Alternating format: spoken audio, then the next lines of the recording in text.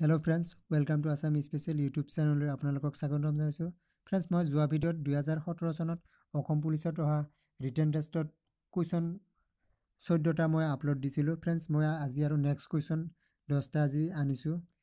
দুহেজাৰ সোতৰ চনত লাল লাল টুপি অৰ্থাৎ পুলিচত অহা কুৱেশ্যন কেইটা আনিছোঁ আজি। ফ্ৰেণ্ডছ আপোনালোকেও ধৈৰ্য সহকাৰে চাওক ভিডিঅ'টো। মই ভাবোঁ আপোনালোকৰ বহুত হেল্পফুল হ'ব। ফ্ৰেণ্ডছ কুৱেশ্যনবিলাক ছেম কুৱেশ্যনে আহে ৰিপিটেড হয়। এইবিলাক কুৱেশ্যনৰ অহাৰ বহুত চান্স আছে। ফ্ৰেণ্ডছ বলক আজিৰ প্ৰথম কুৱেশ্যনটোলৈ। আজিৰ প্ৰথম কুৱেশ্যনটো হৈছে ফ্ৰেণ্ডছ পানীপথৰ প্ৰথম যুদ্ধ কিমান চনত কিমান চনত হৈছিল? ফ্ৰেণ্ডছ অপশ্যন ক তেৰশ ছাব্বিছ চনত অপশ্যন ক চৈধ্যশ ছাব্বিছ চনত অপশ্যন ক পোন্ধৰশ ছাব্বিছ চনত আৰু অপশ্যন ক ষোল্লশ ছাব্বিছ চনত। ফ্ৰেণ্ডছ ইয়াৰ শুদ্ধ উত্তৰ হ'ব অপশ্যন গ অৰ্থাৎ পোন্ধৰশ ছাব্বিছ চনত। ফ্ৰেণ্ডছ ছেম কুৱেশ্যন ধৰি লওক এইটো প্ৰথম যুদ্ধ নেক্সট যুদ্ধত আহিব পাৰে। আমাৰ এইবাৰ ৰিটাৰ্ণ টেষ্টত অসম আৰক্ষীৰ নেক্সট যুদ্ধ ইয়াত থাৰ্ড যুদ্ধও আহিব পাৰে। ফ্ৰেণ্ডছ পানীপথৰ ছেকেণ্ড যুদ্ধ হৈছিল পোন্ধৰশ ছাপন্ন চনত। পোন্ধৰশ ছাপন্ন চনত ফ্ৰেণ্ডছ আৰু থাৰ্ড যুদ্ধ হৈছিল সোতৰশ সোতৰশ একষষ্ঠি চনত ফ্ৰেণ্ডছ মনত ৰাখিব ফ্ৰেণ্ডছ ছেম কুৱেশ্যনে আহে ৰিপিটেড আহে হ'লে নহ'লে ৰিলিট ৰিলেটিভ কুৱেশ্যন আহিব। ফ্ৰেণ্ডছ আজিৰ নেক্সট কুৱেশ্যনটো হৈছে ৰংঘৰ কোনে নিৰ্মাণ কৰিছিল? ক প্ৰমুক্ত সিংহ ৰাজেশ্বৰ সিংহ গ গদাধৰ সিংহ আৰু গ ৰুদ্ৰসিংহ ফ্ৰেণ্ডছ ইয়াৰ শুদ্ধ উত্তৰ হ'ব অপশ্যন ক অৰ্থাৎ প্ৰমুক্ত সিংহ। ফ্ৰেণ্ডছ ঠিক সেইটো ৰিলেটিভে কুৱেশ্যন আহিব পাৰে। ধৰি লোৱা উমানন্দ মন্দিৰ কোনে নিৰ্মাণ কৰিছিল? ফ্ৰেণ্ডছ ইয়াৰ উত্তৰ হ'ব গদাধৰ সিংহ। গদাধৰ সিংহ। তেনেধৰণৰ ফ্ৰেণ্ডছ শিৱদৌলো আহিব পাৰে। শিৱদৌল নিৰ্মাণ কৰিছিল প্ৰতাপ সিংহ ফ্ৰেণ্ডছ অতি দৰকাৰী হয়। হাণ্ড্ৰেড পাৰ্চেণ্ট অহাৰ আশা। চান্সেছ আছে। প্ৰতাপ সিংহ ফ্ৰেণ্ডছ ফ্ৰেণ্ডছ আজিৰ নেক্সট কুৱেশ্যনটো হৈছে প্ৰথম মহিলা কংগ্ৰেছৰ সভানেত্ৰী কোন আছিল? অপশ্যন ক সৰজনী নাইডু অপশ্যন ক ইন্দিৰা গান্ধী অপশ্যন ক ৰেজিয়া চুলতানা আৰু অপশ্যন ক এনি বেচেণ্ট। ফ্ৰেণ্ডছ ইয়াৰ শুদ্ধ উত্তৰ হ'ব অপশ্যন খ অৰ্থাৎ এনি বেচেণ্ট চাৰি নম্বৰ কুৱেশ্যনটো হৈছে ফ্ৰেণ্ডছ নেপলিয়ান বুলি কাক জনা যায়? অপশ্যন ক চন্দ্ৰগুপ্ত অপশ্যন ক সমুদ্ৰগুপ্ত অপশ্যন ক ভাস্কৰ বৰ্মা আৰু অপশ্যন ক সুভাষ চন্দ্ৰ বসু। ফ্ৰেণ্ডছ ইয়াৰ শুদ্ধ উত্তৰ হ'ব অপশ্যন খ অৰ্থাৎ সমুদ্ৰগুপ্ত।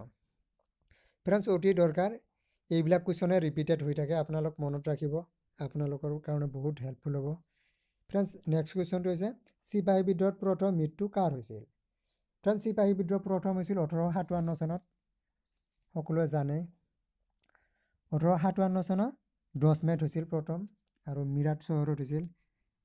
ফ্ৰেণ্ডছ চিপাহী বিদ্ৰোহ প্ৰথম মৃত্যু হৈছিল মংগল পাণ্ডে।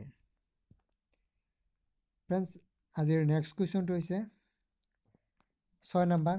ফ্ৰেণ্ডছ এনেধৰণৰ কুৱেশ্যন আহিবই আৰু ইটোও আহিব পাৰে কোনো আইডিয়া নাই হাণ্ড্ৰেড পাৰ্চেণ্ট অহাৰ চান্সো আছে। ছয় নম্বৰ কুৱেশ্যন ভাৰত স্বাধীনতাৰ সময়ত গভৰ্ণৰ কোন আছিল ভাৰতৰ? ফ্ৰেণ্ডছ অপশ্যন ক Annie Besant C Rajagopalachari গ লৰ্ড ৰিপন আৰু খ লৰ্ড ডেলহাউচি ফ্ৰেণ্ডছ ইয়াৰ শুদ্ধ উত্তৰ হ'ব অপশ্যন খ অৰ্থাৎ চি ৰাজা গোপালচাৰী। ফ্ৰেণ্ডছ ঠিক তেনেধৰণে ভাৰতত প্ৰথম ব্ৰিটিছ গভৰ্ণৰ কোন আছিল যদি কুৱেশ্যনটো আহে? ফ্ৰেণ্ডছ সেইটোৰ উত্তৰ হ'ব William William William Bentinck friends friends জানি ৰাখিব বহুত ভাল হ'ব অহাৰ চান্স আছে আৰু আহিবই ফ্ৰেণ্ডছ হাণ্ড্ৰেড পাৰ্চেণ্ট এনেধৰণৰ কুৱেশ্যন ফ্ৰেণ্ডছ আজিৰ সাত নম্বৰ কুৱেশ্যনটো হৈছে ভাৰত ত্যাগ আন্দোলন কিমান চনত হৈছিল? ফ্ৰেণ্ডছ এনেধৰণৰ কুৱেশ্যন যিকোনো এটা আহিবই। ভাৰত ত্যাগ আন্দোলন কিমান চনত হৈছিল? অপশ্যন ক ঊনৈছশ একৈছ চনত অপশ্যন খ ঊনৈছশ ত্ৰিছ চনত অপশ্যন ক ঊনৈছশ সাতচল্লিছ চনত আৰু অপশ্যন খ ঊনৈছশ বিয়াল্লিছ চনত। ফ্ৰেণ্ডছ ইয়াৰ শুদ্ধ উত্তৰ হ'ব ঊনৈছশ বিয়াল্লিছ চনত। ফ্ৰেণ্ডছ অতি দৰকাৰ আহিবই আহিবই হাণ্ড্ৰেড পাৰ্চেণ্ট এনেধৰণৰ কুৱেশ্যন। আৰু ৰিলেটিভ আহিব নহ'লে ছেম কুৱেশ্যন ৰিপিটেড হ'ব। ফ্ৰেণ্ডছ আজিৰ ন নম আঠ নম্বৰ কুৱেশ্যনটো হৈছে ইয়াণ্ডবি সন্ধি কিমান চনত হৈছিল? অপশ্যন ক ওঠৰশ একৈছ চনত আৰু অপশ্যন খ সোতৰশ ছাব্বিছ চনত আৰু অপশ্যন ক ওঠৰশ ছাব্বিছ চনত আৰু অপশ্যন ক ঊনৈছশ ছাব্বিছ চনত। ফ্ৰেণ্ডছ ইয়াৰ শুদ্ধ উত্তৰ হ'ব অপশ্যন গ অৰ্থাৎ ওঠৰশ ছাব্বিছ চনত। ফ্ৰেণ্ডছ ইয়াণ্ডুবু সন্ধি হৈছিল ব্ৰহ্মাসকলৰ সৈতে ইংৰাজ আৰু ব্ৰহ্মাসকলৰ সৈতে ইয়াণ্ডুবু সন্ধিত স্বাক্ষৰিত হৈছিল ওঠৰশ ছাব্বিছ চনত। ফ্ৰেণ্ডছ আজিৰ নেক্সট কুৱেশ্যনটো হৈছে ভাস্কৰ ডাগামা কিমান চনত ভাৰতত ভাৰত আৱিষ্কাৰ কৰিছিল? কিমান চনত আৰু কিমান চনত আহিছিল বা কিমান চনত আহিছিল? ভাস্কৰ ডাগামা ভাৰতত। ফ্ৰেণ্ডছ ইয়াৰ অপশ্যন ক তেৰশ আঠানব্বৈ চনত অপশ্যন খ চৈধ্যশ আঠানব্বৈ চনত আৰু অপশ্যন গ পোন্ধৰশ আঠানব্বৈ চনত আৰু অপশ্যন খ ষোল্লশ আঠানব্বৈ চনত। ফ্ৰেণ্ডছ ইয়াৰ শুদ্ধ উত্তৰ হ'ব অপশ্যন নাম্বাৰ খ অৰ্থাৎ চৈধ্যশ আঠানব্বৈ চনত ভাস্কৰ ডাগামা সাগৰ পথেৰে ভাৰতত আহিছিল।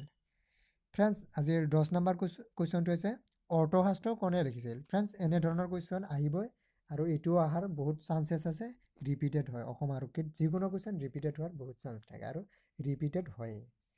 ফ্ৰেণ্ডছ অৰ্থশাস্ত্ৰ কোনে লিখিছিল?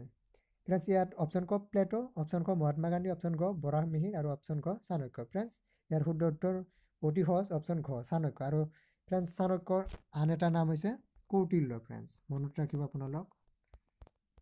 কৌটিল্য। ফ্ৰেণ্ডছ আজিৰ শেষৰ কুৱেশ্যনটো হৈছে ৰেমৰ সম্পূৰ্ণ ৰূপটো কি? ফ্ৰেণ্ডছ এইটো আপোনালোক কমেণ্ট বক্সত কমেণ্ট কৰি জনাব। ফ্ৰেণ্ডছ মই যোৱা ভিডিঅ'ৰ শেষৰ কুৱেশ্যনটো মোৰ আছিল। যোৱা ভিডিঅ'ৰ শেষৰ কুৱেশ্যনটো আছিল যে আইৰণ মেন বুলি কাক কোৱা হয়? ফ্ৰেণ্ডছ এইটোৰ শুদ্ধ উত্তৰটো হৈছে চৰ্দাৰ বল্লভ ভাই পেটেল। ফ্ৰেণ্ডছ যদি ভিডিঅ'টো ভাল লাগে প্লিজ চেনেলটো ছাবস্ক্ৰাইব কৰি ল'ব আৰু বেল আইকনটো বজাই দিব এনে নতুন ভিডিঅ' পাই থকাৰ বাবে ফ্ৰেণ্ডছ ফ্ৰেণ্ডছ আজিলৈ ইমানেই। আৰু লাইক দিব ভিডিঅ'ত শ্বেয়াৰ কৰিব। লাইক দিলে ভিডিঅ' বনোৱাত উৎসাহ জাগে মটিভেট হয়। ফ্ৰেণ্ডছ আজিলৈ ইমানেই। জয় আই অসম। জয় হিন্দ।